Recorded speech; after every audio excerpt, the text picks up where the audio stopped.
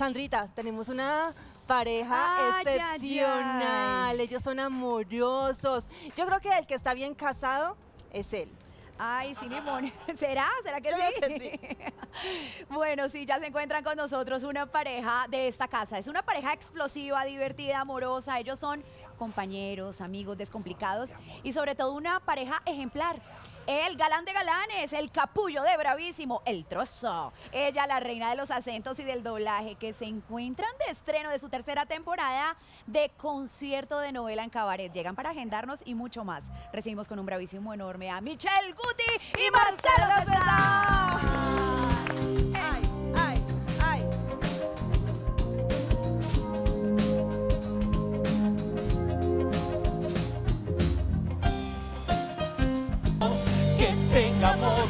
separarnos solos con muchos pero tan solos que nadie ponga los ojos en la manera de pelearnos no.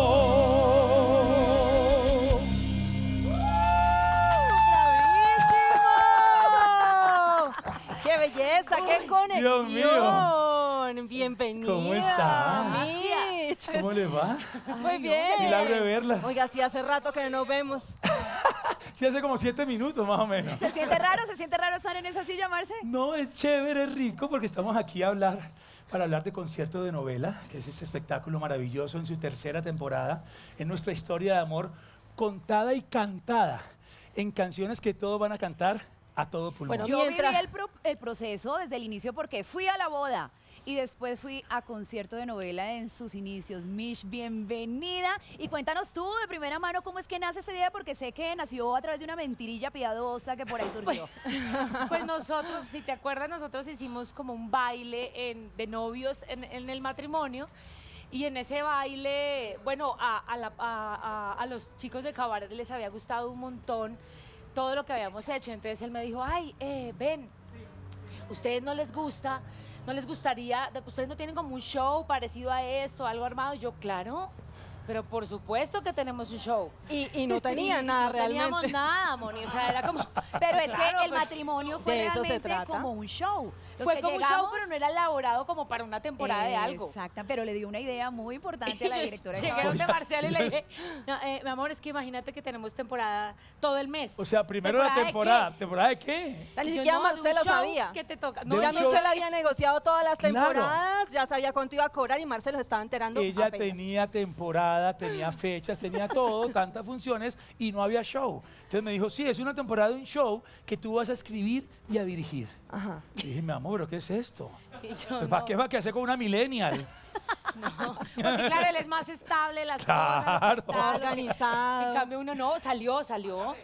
Salió la Y temporada. empezamos salió el a, buscar el repertorio, las canciones, y empezamos a ver cómo contábamos nuestra historia de amor en los capítulos de una novela. Hay que decir que yo hubo un momento en que llegué a un punto así a lápiz y papel a la antigua, que dije, hasta aquí llego, ¿no? No se me cae una idea más, y busqué a Juan Carlos Mazo, el gran director de, de teatro musical y de cine, y le dije, mire, Juan Carlos, tengo esto, necesito que usted me lo pula, que me lo ayude a, a- a terminar de pulir, y él lo bautizó concierto de novela, nuestra historia en- en- cinco capítulos. Y obviamente tuvimos también un director artístico porque solo nos íbamos a matar. Una Y alguien que obviamente nos decía, bueno, se hace aquí, se hace esto, esta es la parte coreográfica. O sea, nos, nos manejó todo ese esquema que es Luca Bartoli, nuestro Sí. director. aterrizando ideas y fueron componiendo este show tan maravilloso que entretiene, divierte y además nos sumerge en una historia de amor maravillosa. Seguimos con música. ¿Sí? Oh Invito God. a Mish para que Se tome el se escenario. tome el escenario, favor. por, eso Por jura. Dios. Sí. Por eso júralo. Te pertenezco. Oh my God.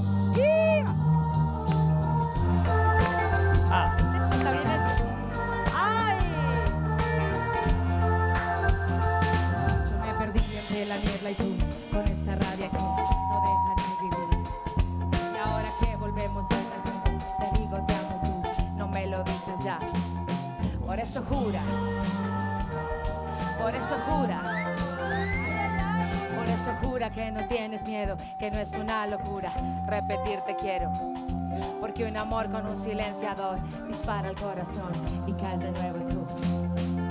Soy tan tuya que me ofendo, tú eres mío, yo te tengo, tú prometes, hay que verlo, yo prometo y lo mantengo, prometo, prometes.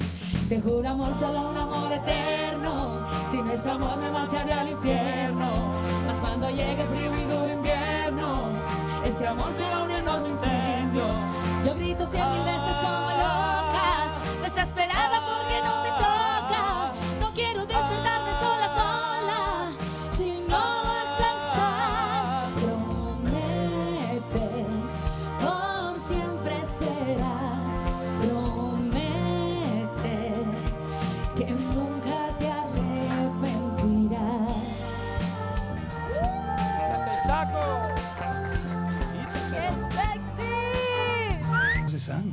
Mucho gusto, Michelle Guti. Oye, eres hermosa, cantas divino y bailas espectacular. Gracias. Me imagino que eso se lo dirás a todas, ¿no? Oye, oye, un momento. ¡Aleluya! Tú no tienes ni idea quién soy yo. Ay, yo no sé por qué conozco tanto esa frase. Pura frase de galancete de novela, ¿sí o no? ¡Ay, toma lo tuyo! Esa me dolió. Lo de Galancete me dolió. Así era. Tuyo. Exactamente así fue. Claro, es, la- es- es la- es el capítulo uno que es Nos conocimos. ¿Quién se acercó a quién inicialmente? Pues eh, compartíamos un evento navideño en el verano del 2011. No, en el invierno del 2011. Hace, Verano aquí en Bogotá. Y hace 11 entonces, años. sí, sí, hace, hace 11 años ya. Entonces, Ay, uf. eh, ella estaba, ella, ella era actriz y bailarina de un montaje eh, teatral navideño y yo era el maestro de ceremonias. Y ahí nos vimos por primera vez, pero ella solo le veía la carita porque tenía un disfraz de bola de nieve. Entonces ahí yo no podía ver mucho. Pero con que- esa carita. Así, ¿pa' con la carita, con, con esos ojitos me Acá, cautivó. Como le decía yo, le decía a un amigo muy conocido a sus amigos del gym. Esto, decía, yo el gimnasio, o sea, yo puedo ir al gimnasio, yo puedo bajar de peso, pero esto, Esto es como es. esto. Es como No, es. es que donde le hubiera visto esto. No no, eso se lo vi un día que yo llegué temprano. Yo llegué temprano y, y no estaba disfrazada de bolita de nieve, estaba de civil. Y cuando yo veo así a la distancia, digo, oye, esa, esa, y, y le dije al conductor, le dije, ella, eh, eh, ella no ¿Esa es bolita. bolita de nieve? Me dijo, no, no, ella no es bolita. Ah, no, entonces ¿quién es? Me dijo, es bolota. ¡Qué duraznos! bolota de nieve. ¡Qué melones! Ay, ya es una historia de amor hermosísima. Pues yo creo que ustedes están preparados después de todos estos sub y baja de relación, porque es una historia muy hermosa que además nosotros conocemos aquí a fondo y que ustedes la cuentan, la narran a través de esta, este show que ustedes están presentando en concierto de novela. Yo creo que ustedes ya están preparados, listos para estas preguntas que se llaman ¿Qué tanto se conoce? ¿Qué tanto se conoce? Oh Sí. Vamos a ver qué tanto se conocen Ojalá ustedes. Te lo advertí, mi amor. ¿No tenés friecito, mis? sí, ahí tengo mi chaquetica, es que la... Vení, yo te la traigo.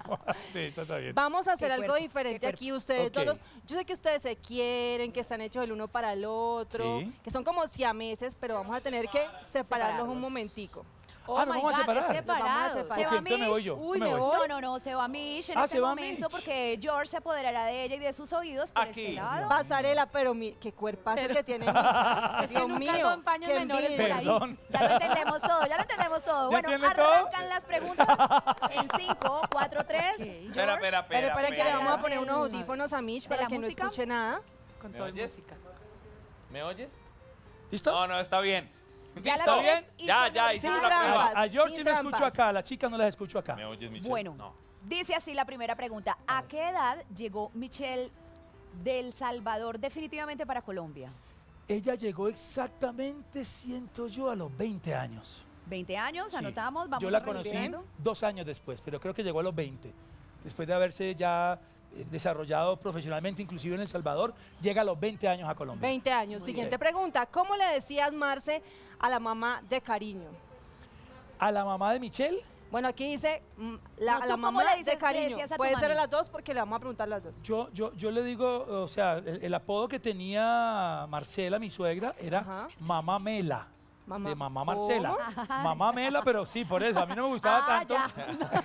ya. Creo que pasemos Sí, la pregunta. Podría, podría prestarse a una interpretación, mamá Mela. Ajá. Y Fabricio, desde muy pequeñito, la rebautizó Mamma Mía. Mamamela, mamá mía. Mamma Mía, a, la- a la- a Marcela, ¿no? Ajá. A Marcela, mi suegra, digamos. ¿Y tu mami tenía algún apodo en No, especial? no, mi ¿Tú le mamá? Edita, Edita, Edita, ella se llamaba Edda, Edda Menicagli, y su apodo era Edita. Todo el mundo le decía Edita. Listo, siguiente pregunta. ¿Cuánto pesó y cuánto midió Fabricio Uy, al nacer? no, no, no, Cifras sí exactas, kilos y gramos. Esos son Me datos generalmente de mamá, pero el ¿Cuánto papá de pesó? pronto llega. Un aproximado, más un aproximado. Uy, Dios mío. Por lo general, tres kilo- kilos. No, no sé, do- dos kilos y pico. Ujú. Dos kilos doscientos. Ok. Dos kilos doscientos, ¿Y ¿no? algo así. Dejémoslo hasta ahí porque la, la estatura sí no tengo ni idea. Bueno, listo. Pero do- un poco más de dos kilos, dos kilos doscientos por ahí. ¿Cómo se llamaba el programa que Michelle presentó en El Salvador? ¡Viva la mañana! Muy bien, se el magazine, veía. el magazine matutino de, de- de este canal salvadoreño era como, como, como el magazine de lunes a viernes Ajá. de la mañana y ella era una de las presentadoras eh, estrella. ¡Viva la mañana! Y en rol de presentadora lo hacía súper bien. Siguiente pregunta. ¿Cuál era tu apodo cuando tenías el corte honguito? Uy, ahí me decían Gilligan. Gilligan. Gilligan me decían, me decían Gilligan. eh, yo creo que era ese, ¿no? Y no me gustaba ni cinco. De hecho, yo dejé de ir, yo dejé de ir a un encuentro de colegio. Porque cuando empezamos a armar el encuentro, me- mis amigos empezaron a llamarme, Oli, ¿vas a venir? Yo, sí, voy a venir. Uy, viene Gilligan, viene Gilligan. El de la isla, el de la isla. Sí, el de la isla de Gilligan. Ustedes saben quién es Gilligan. Existía el bullying en ese entonces A nadie le gusta que le digan Gilligan. Muy bien, ¿y a qué hora nació Fabricio? Esta puede ser... Uy, sí, él nació como a las 4 y 30 de la tarde por ahí. en la en las tarde. horas de la sí. tarde. Sí, en la tarde, en la tarde. Fue cuatro y media. Sí, en horas de la tarde fue. ¿Listo? ¿Listo? Hemos finalizado Mitch, este cuestionario. Llamamos a Mitch. ¿Ya? Buena musiquita, sí, lo disfrutó. Uy, cambio de luz. Oye, me siento pero raro, me siento raro sin apuntador. en una nube aquí. Déjate llevar. Yo me dejo Fluye llevar. con nosotros. Pero qué, qué rosa, qué Llegó bolota, di- digo bolita.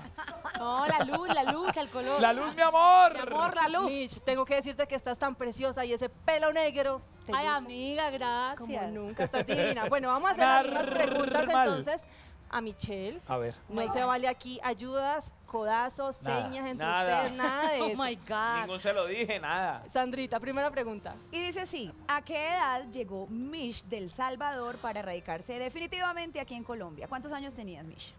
Uy. Marce la tuvo súper clara. Em, ¿A qué Pilas, edad llegué Marcelo. yo acá Sí, sí, ya a radicarme? Te conocerme. regresaste, ¿a qué edad te regresaste? Como el del Salvador? 2011. Pero edad, edad. No, pero ¿Cuántos ¿qué edad años tenías? ¿A qué edad tenía? 22. Marce, Final, final. Ya para Marce, no radicarme. Como 20, más o ¡Eh! menos. ¿Cómo que dijo? ¿Cómo dijo? Lo dijo, ¿Qué dijo? pero lo alcanzó a ¿Qué decir. dice el bar? Es ¿Qué que yo tuve idas y venidas. No, no, pero de lo, lo último que dijiste. 20, 20. Pero 20. Michelle lo corrigió, dijo 20. 20. Alcanzó, alcanzó. La respuesta entonces es... Correcta. Como yo fui, No, volví. Ensayamos anoche. Ya vamos a poner Mira el. Ensayar. Se acabó la flexibilidad. mira el chat. Nada. Marcelo, quietico, calladito. Me quedo aquí con el Siguiente gato. pregunta. ¿Cómo le decía Marcelo a la mamá? A tu mamá y a la mamita de, de. Apodos de las madres. A la mamá de él, mi amor. Siempre le dijo mi amor. ¿Algún otro apodo, Mitch? ¿A ella? No, mi amor. de Piccolo. cariño. La nona. Cuidado. Mi Piccolo. amor, la nona. Ajá. Pero si Piccolo le dices al bebé. Bueno. te está dando pistas, pero... Y No. el Marce, apodo no, a Marce. tu mami. ¿Y a la suegra cómo le cómo A le mi dicho? mamá, mamá mía o mamamela, pero es que mamamela era raro.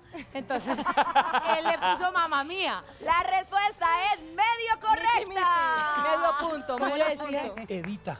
No, mi amor, toda la vida diste mi amor. No, no vamos a pelear aquí delante de la gente. Edita, ¿Cómo le, así? Edita le decían a otras personas, Si pero es que no yo no entendí bien la pregunta. No, no fue, claro, no fue bien claro. formulada la no estaba- pregunta. no estaba tan Siguiente clara, pero- pregunta, Vamos, hay chance punto, todavía. Bueno, sigamos, sigamos. Siguiente pregunta. ¿Cuánto pesó y cuánto midió Fabricio al nacer? Uy, no, Marcelo sí tiene eso clarísimo.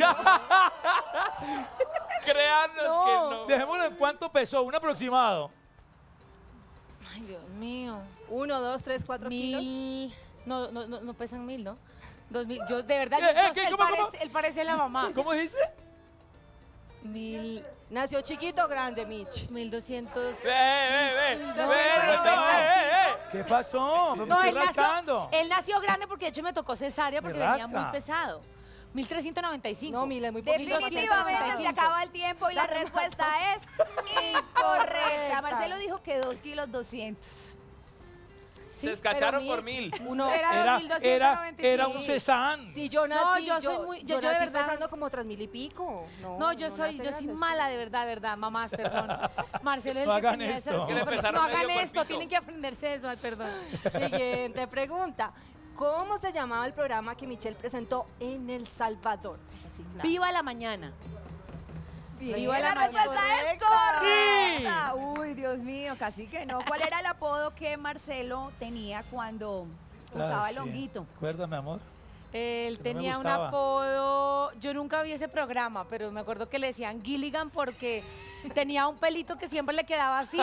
Y siempre que los amigos de Palmira y de Cali lo ven, Gilligan y él, "Ey, Eh, ya, ya tengo, ya. Eh, me decían. Gilligan, pero no propiamente por el pelito. Y la respuesta es ¡Sí! Vamos a hacer una cosa, última y definitiva. Definitiva. Si responden bien, les valemos las anteriores y pasan el test. Vamos. Listo, listo. ¿Qué pasa? Pilas pues, ¿a qué horas nació Fabricio? Mitch. Acu- eh, Cuatro de la tarde, cua- cuatro, sí, yo me acuerdo. Se vale, se Yo vale. llegué Sí. temprano, claro, cuatro de la tarde tuvo que ser. Sí. Que yo me desperté como a las siete es distinto, Entre pero cuatro cuatro y de cuatro la y tarde. media no hay sino Sí, 30 cuatro, cuatro y minuticos. media, Se vale, la sí. respuesta Sí. es correcta. Tengan en cuenta que, claro, yo tuve, yo tuve, un- a- a- o sea, a diferencia de otras mamás, a mí me pusieron, trataron de ponerme la epidural como 13 veces Ay, y ay, no me agarró, entonces me pusieron anestesia general. Entonces yo me vine despertando hor- y ahí perdí la noción. Y él sí entre, y entre ahí. contracción y contracción, pues se va pasando el tiempo. Y sí, Ahí, válido, pasaron sí. el test. Bien, casi bien. que no, pero lo Dios lograron. mío. Seguimos con musiquita y esta canción. Ay, con esta canción. Ah, un momentico, un momentico. ¿Viene la ¿Se canción? entregó? ¿Con esta se Ok, pero entonces me debo ausentar Dale, cinco dale. segundos porque eso tiene una. Eso No, que tiene hay, hay- una- hay espacio. Espere, espere, Tranquilo, como papi, Michelle, Eso venga. tiene una Esta caracterización. canción, Sí, Marcelo- Marcelo conquistó los corazones de todas las adolescentes y chiquillas de este país. Me uno, me uno en esa Uno al clan, diga. en ese clan porque de verdad Marcelo era y sigue siendo un verdadero bombón. Con ustedes, señoras y señores. La gloria de Palmira, el trozo de Marcelo ¡Qué llega trozo! con nueve semanas y media.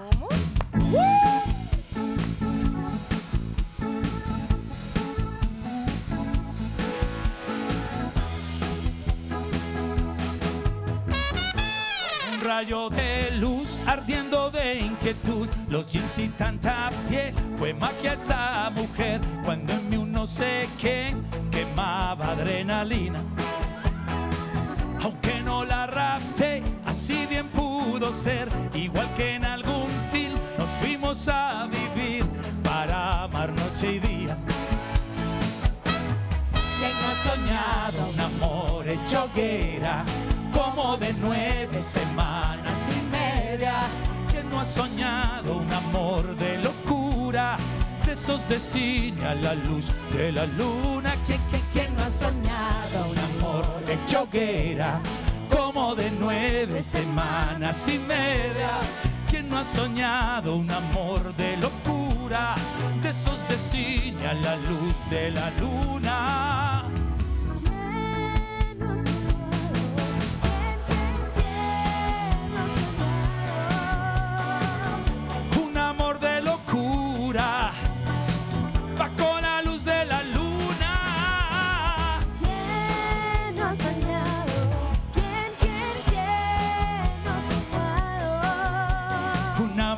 Locura, tú y yo bajo la lluvia, haciéndote el amor bajo la luz de la luna.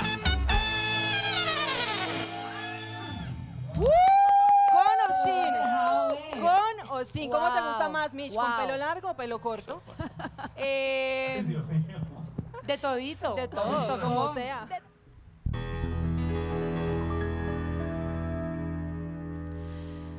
Ese hombre que tú ves ahí, parece tan galante, tan atento y arrogante, lo conozco como a mí. Es un gran necio, un estúpido ingreído, egoísta y caprichoso, un payaso vanidoso, inconsciente y presumido, falso enano rencoroso, que no tiene corazón,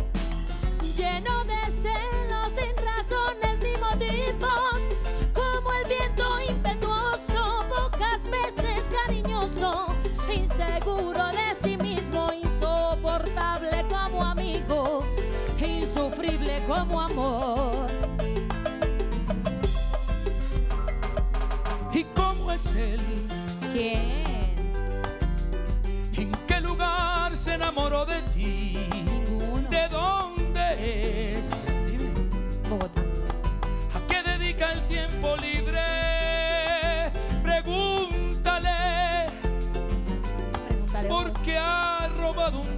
De mi vida, ay de mi vida. Es un ladrón.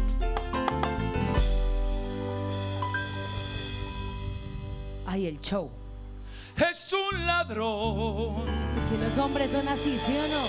Siempre. que a mí, pobrecito, cochita linda, tierna de la vida, un bonachón como yo, que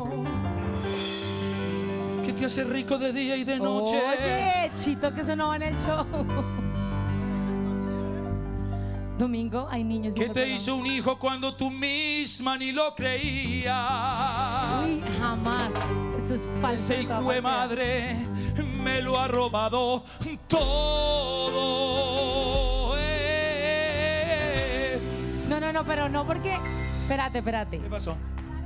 Sí, aclaremos porque la gente va a decir, uy, se fue con otro. No, nada. Y le hizo otro hijo además de Fabricio, ¿cómo así? No, no, lo que pasa es que eh, en determinado momento de la relación. No, partamos, íbamos muy bien. Sí. Tres años de relación, todo iba bien. Al parecer, eso yo pensaba. No, y él de repente, no, es que démonos un tiempo. Uy, uy, Marcelo, tan ¿Qué? bonito, tan elegante, tan galán, pero tan arrogante. Y yo, pero espérate, yo, yo con quién me metí, yo qué hice, cuándo te pegué, qué pasó, tiempo de qué, por qué, o Un sea. momento, un momento. Bueno, versión de Marcelo. Los hombres aquí, bailarín, eh, Bobby Cruz, Cecita, Pero todo. ¿por qué con barra? No, No, no, los ¿Qué, hombres qué, creemos en los tiempos, ¿sí o no? Eso es pura mentira. ¡Claro! ¿Qué quiere un tiempo? No, porque los tiempos son Te necesarios. vamos- ¿Qué? Monías anda ¿Cómo conmigo, así? o sea. No. Yo necesitaba curar ciertas heridas, yo Después de necesitaba... tres años de relación, Marcelo. Necesitaba estar seguro. Yo, yo no me sentía preparado a los 50 añitos para salir de mi casa. Descarado, atrevido. Pero espere, espere, espere. Entonces no estaba preparado el Yo no estaba hombre, preparado, la estaba- dejó, la destruyó, le rompió el corazón y llegó un ladrón. Claro. Que se le No. robó el corazón por un tiempo. Pero, pero no, Sí. no, no. O sea, yo, yo me vine a tomar un cafecito, ni siquiera. Estaba entusada, estaba entusada. Estaba entusada, duelo. pero yo cangrejé yo al mes, oye, mira, lo has pensado. Ah. Mitch, ya, por favor. Un. A los dos meses yo ve, mira, ¿Elevadito? No, mira, No, mi en amor. serio, Mitch. La No, rechazó amor. varias Tres, cuatro, veces. cinco. No. Yo- a los seis meses ya uno se puede tomar un Ningún café niño. No, no, pero hablemos, hablemos de ese cafecito. O sea, obvio. hablemos de ese cafecito. Ajá, ¿cómo fue el Porque, eh, cafecito? eh, Ese cafecito, le voy a describir el cafecito. ¿Cómo fue el- el cafecito? cafecito? era cafecito, Ajá. Con melanina, buena melanina. Ojos miel. alto, Ajá. ¿Qué más? Joven, Sí, dame más. ¿Qué tal? delgado Sí, con la chocolatina. y millonario, el hijo de madre. o sea, tenía todo para perder. Estuve a Marcelo. punto de decirle, váyase con él, mi amor, que le va mejor con él. le conviene más el cafecito. Pero es que después de seis meses. Y, me les pego a rueda yo. de, varias remadas, de varias intentadas de volver con Marcelo, pues ya uno como mujer también dice, echémosle tierrita y me da una nueva oportunidad en el amor. Sí. Pues esa Y fue entonces- una parte de la relación donde parecía haberse todo perdido, pero la historia tiene un giro bien importante que lo tienen que descubrir en concierto de novela. Por ahora, si vamos a seguir rebobinando el cassette, pues lo vamos a hacer a través de fotos, porque ¿Fotos? tenemos una Ay, ¿en dinámica? Sí. muy chévere, Uy. donde vamos a ver imágenes y nosotros le hacemos algunas preguntillas para saber qué Sí. pasaba en A esa ver, Muy a ver, época. a ver, a Que vengan Ah. las primeras imágenes. Dios mío. Ay, la niñez de cada uno. ¿Ah? Yo parecía tan niño, o sea, no sabe quién es la niña y quién es el niño. ¿Cuál es Marcelo y cuál es Michelle? Porque No, parecen mucho. Mi Fabricio es igualito a Michelle. Oiga, Lo sí. Estoy descubriendo, es innegable. No, no, no, tiene, no. La diadema. Tiene lo más lindo de los dos. Dice que el de cuadro de Marcelo. Respetame, hazme el favor. si tuvieran Yo la tengo mis tendencias claras Si desde muy tuvieran la chiquito. oportunidad, si se apareciera el genio de Aladín con su lámpara y pudieran regresar a alguna etapa especial, específica de la infancia, ¿a cuál regresaría Marcelo y Michelle? Michelle, Yo regresaría. ¿a qué momento? Uy, yo, yo creo que me disfruté tanto mi infancia. Yo creo que regresaría cuando comencé clases de baile, de jazz, tap, ballet, era para mí mágico. Mágico, mágico, mágico. O sea, amo esa etapa. Yo volvería a esa escena a los 13 años. Corría el verano de 1980. Cuando quedé en el Deportivo Cali, muy chiquitico, y fui pasando filtros, filtros, filtros, y quedé en los 25 de la, de la quinta división, y llegué al carro y le dije, papá, quedé. Y él me dijo, no señor, no has quedado en nada, no te voy a volver a traer aquí, tú nunca vas a ser futbolista. Yo regresaría a ese momento y le diría, ¿sabe qué, papá? Usted tiene huevo. Yo sí voy a hacer. Voy a ser futbolista. estarías y me hubiera aquí. revelado. Pero es que no eras millennial, ahora sí responden así. Sí, era, era- En ese entonces no. Dije, yo lo único que atiné a Que decirle no fue, a ok, papá, lo que tú digas. Bueno, muy bien, vamos a otra etapa de sus vidas. Aparecen las imágenes para llegar a ese momento. Oh my Wow. God. ¡Qué Marcelo, ¿eres tú? adolescente! 20 años rubio oxigenado. Bueno, Marce, no veo el bozo, pero veo un, un capul bastante esponjoso. Marce, ¿qué tipo de adolescente eras? ¿Rebelde, juicioso, irreverente? Tenía dos, do- tenía Dos. tres características. La primera, el, el deporte, ¿no? El fútbol, el tenis. La segunda, la música, siempre con una guitarra al hombro. Dábamos serenatas, eh, eh, sí, nos ahorrábamos esa plata del trío porque yo era el que guitarreaba y dábamos las serenatas. Y, era, y, y yo vine a descubrir que tenía buen sentido del humor. Hacía reír a- a mis amigos. Y eso lo vine a redescubrir aquí justamente en este programa cuando la gente me decía, es que usted, de, Muy hecho- de hecho, gracioso. estuvimos nominados a Mejor Programa de Humor. Sí. Bravísimo en, en algún momento. Entonces, digamos que eso era deporte, arte, música y, y buen humor. ¿Y ese mini afro de dónde? Eh, eh, ahí estaba ¿El yo. corte honguito? No. El Pedro no. Estaba buscando a Marcelo Cezanne, pero estaba, estaba una- el ancestro, ahí se nota el ancestro tumaqueño. ¿sí? Estaba floreciendo ese ancestro tumaqueño. Mitch, ¿qué soñabas de adolescente? Ay, ¿Cómo te esa veías? foto creo que estaba cumpliendo 18 años, algo así. Con ese rubio oxigenado que se echaba uno y uno se juraba, pues, mejor dicho. Britney Spears. Britney Spears total. Yo soñaba, yo, yo creo que siempre tenía el mismo sueño, lo mío siempre fue el escenario, la música, la actuación. Eh, siempre soñé con lo mismo, pero yo siento que me disfruté cada etapa de adolescente. En ese momento eh, creo que estaba trabajando en un bar, cantando, pues buscando, ¿no? Buscando esa identidad y esas oportunidades. Bueno, muy bien, nos trasladamos entonces al año, aproximadamente al año 94. Vean las imágenes. Oh my God. Qué gran diferencia. Pero ahí, o ¿por sea, qué? Porque tienen que poner la ¿Esa era ella en diferencia. el 94? Claro, Ese- los dos en el 94. Ese era exactamente el año Ahí 94. ni la mínima posibilidad de que Ay, ustedes no, no, conocieran. Tiempo real. Dice que, dice que Michelle es la del chaleco. Marcelo se encontraba grabando Acapulco, Cuerpo y Alma en México. Y Mish era tan solo una chiquilla que muy seguramente todavía chupaba dedo. Mish, eh, esas diferencias de edad están muy marcadas, sobre todo en esos momentos. esta etapa, En claro. días también veíamos la foto de Shakira y Piqué, donde prácticamente tú serías el Shakiro y tú serías... Sí, digamos que no, pues imagínate esa etapa, era una bebé, era- tenía creo que la edad de mi hijo en ese momento, no, no, no, ni soñaba ni pensaba nada, o sea, ahí sí estábamos, ahí sí están los 22 años marcados. Y por tu lado, Marce, tú el estabas, eras el tumbalocas de la época, no solo aquí a nivel Wow. nacional, sino ya a nivel internacional. eh, acaparabas todas Pues- las, todos los lentes. Fue una época muy natural, ¿no? Un, un poquito ingenua también. Yo no, yo no sabía lo que se estaba gestando alrededor mío. A- Ahí no lo entendía. Simplemente yo iba fluyendo, ¿no? Iba, iba, que la foto, ah, bueno, la foto. Y, iba viviendo muy al día a día. No, me imaginaba yo que esta imagen y este look, viéndolo 28 años después, no, no era consciente de lo que yo veo ahora ahí y del impacto que eso tenía en las chiquillas de la época, ¿no? Que, que se alborotaban y me esperaban en los aeropuertos. Yo no... eh, no, las chiquillas, las chiquillas de esa época ya están en un ancianato. Saludos a ella, por favor. Todas las chiquillas de esa época, todas las, las chicas de esa época tenían una ficha de Marcelo Ese calendario. O calendario. Ese era un calendario en el 94, un calendario de una revista muy famosa, la famosísima TV y Novelas. Mira, ahí hay más fotos. No, no, lo ve. no, no, ese día- me acuerdo que ese día me levanté así. Ay, no. Ese día no me bañé. No, no, no. No me bañé ese día, ¿viste? Ahí vamos por Normal marzo. como cuando uno se agarra, vea, Sí, como uno se cuando agarra, uno agarra normal. Casual, de una casual. bodega. Miren abril. Casual ahí. Y si nos pasamos a mayo. A mayo, ay, véalo. Ay, ¿cómo eh. estar a junio? Ay, no, ¿y cómo era? Diciembre, Papá Noel que nos tenía. No, Marce, de verdad, qué figura, qué Casual facha, ahí acomodándome las gafas. qué pecho. Qué Qué Maravilloso, Marce, de verdad, una figura inigualable. Ese pelo. ¿qué pasó? No, no, no. Quisiera ya uno tener ese pelo de cositas. Marcelo. Los años pasan. Pasaron es, cositas. es inevitable, unos kilos de más. Bueno, la, la belleza No. se va, va cambiando porque sigue siendo un hombre maduro, Sí, guapo interesante. y muy Mira, interesante. cuando uno le dice que es un hombre maduro, interesante, le estás diciendo viejo. Cuarta dosis. No. No, no, no, conservado, que no es lo No, mío. como me dijo ella en estos días. ¿Cómo le digo? Mi, a- yo Mi no amor, sé- Chito, pero no diga- No, ya, díganlo aquí. Va a boletear. Ella me dijo en estos días, mi amor, es que tú estás como embalsamado. Detenido en soy, el tiempo. o sea, soy una momia. Soy- soy- estoy para un museo yo. Lo van a Vamos investigar. con música. Con Y tu en amor, este el escenario es de ustedes nuevamente. Oh my God. Con tu los amor. Con tu micrófonos, amor. todo lo que Con necesite. tu amor, vamos a hacer con tu Con tu amor, amor. pues que es el remate del show. Vamos, arriba. Con tu amor.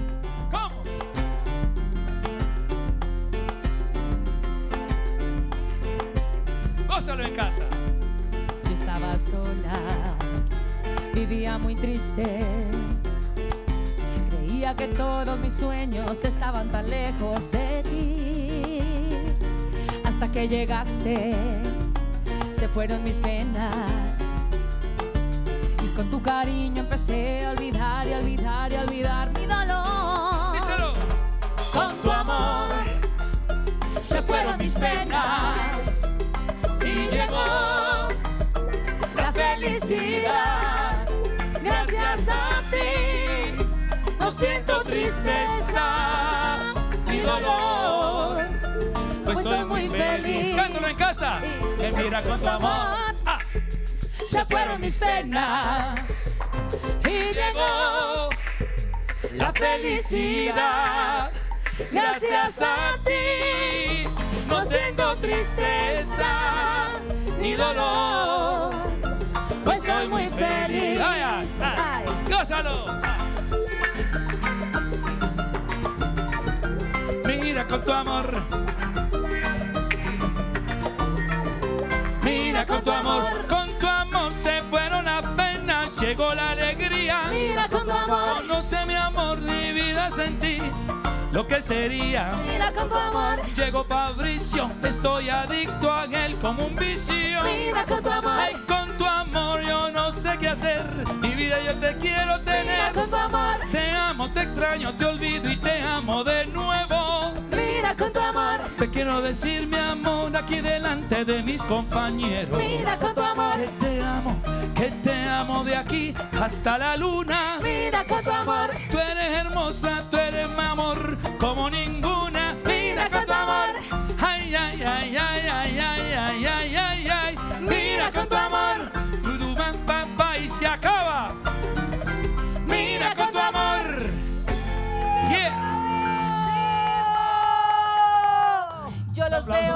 De Pipe Guzmán, la banda Cabaret, por Bravísimo para Pipe y su banda. Nos acompañan todos los jueves Ajá. de febrero y marzo, exceptuando un jueves, el 31 de marzo, que no vamos a estar porque tenemos otro evento, pero todos los jueves de febrero y marzo en Cabaret, este show que es dinámico, que es rico, que la gente conoce las canciones, las canta. Ustedes ya saben, eh, el número de reserva. Mejor dicho, ¿Sí? 470 3722. Repiten.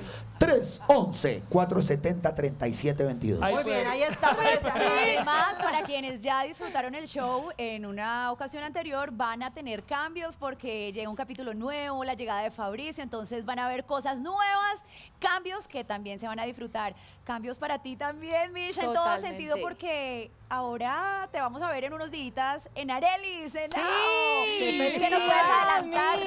Entramos a Arelis, entramos a Arelis, eh, me parece, o sea, las bionovelas tienen algo muy importante y es esa parte real, ¿no? Esa, esa, esa parte genuina de todo lo que está pasando. Y bueno, este personaje entra, no puedo hablar mucho, pero es esta semana que viene. Existió este Eh, personaje. es ¿Malosa o buenona o qué? Como, como Le va a Malosísima. hacer la vida imposible, Arely. Malosísima.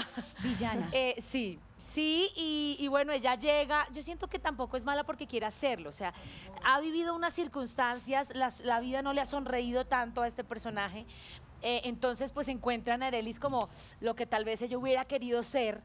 Eh, en su momento. Y entonces empieza de alguna manera a, bueno, llega hasta robarle la identidad. En fin, eso lo vamos a ver Arely más me adelante. contó que este personaje que existió y que ellas cantaban juntas en determinado momento en sus Fueron primeras amigas. etapas y ella en el escenario cuando estaban cantando se le rimaba y, Y la la aruñaba. pellizcaba, la aruñaba, y le sacaba sangre.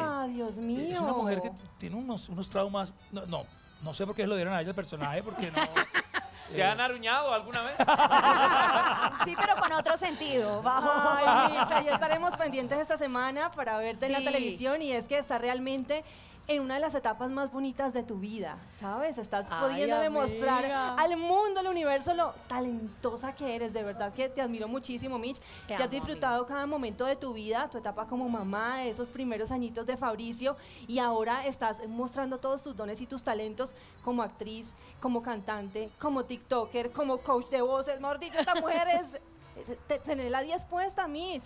Firmaste con una disquera, estás por sacar música también. Háblanos de eso. Estamos en un proceso maravilloso con Animal Records, que es un equipo que trabajó muchos años para Universal, para Sony. Y estos chicos son millennials, centennials, entonces ellos son así rolitos divinos y me están viendo, los amo. Pero ellos tienen clara la industria como es. Entonces es, bueno, Mitch, vamos a, a- a dosificar y agarrar todo eso que tienes porque no se puede sentir desordenado el arte, ¿me entiendes? No, no por, por, por tener tantos talentos, eso a veces puede ser positivo, pero si lo enfocas mal puede ser negativo, porque es que te vuelves un todero y no puede ser así. Entonces, es dosificarlo, es hacerlo como es, es saber cuál es tu esencia, tu ADN como artista, para que eso se pueda ver plasmado. Y llevamos como más de un año en este proceso con Marce también encabezándolo, eh, trabajando en eso y seguramente pues este año vamos a empezar a darles una ráfaga de música maravillosa. La cara mía, eh, pónchame la cara mía de orgullo.